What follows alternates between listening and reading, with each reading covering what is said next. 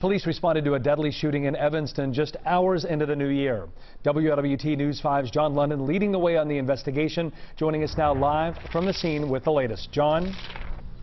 Don't know who it is yet, Todd. No identity yet on the man who was shot dead.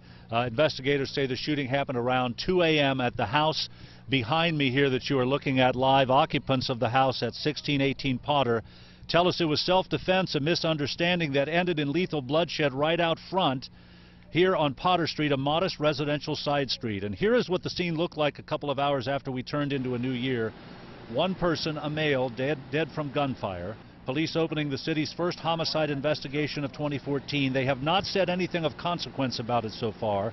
We are told detectives are conducting interviews to try to determine the circumstances of the shooting. We spoke with two neighbors, one who watched from her window, another who dove under her bed after hearing someone on the side of her house calling 911 he said somebody shot my friend, and I think I think he said he got shot, but he said he he was in the back of Dana and Xavier, and then when he said Potter, that's when I was like, oh God, I'm not dreaming. I just seen gunshots. That's all I seen. It's a boom, boom, boom, boom, boom.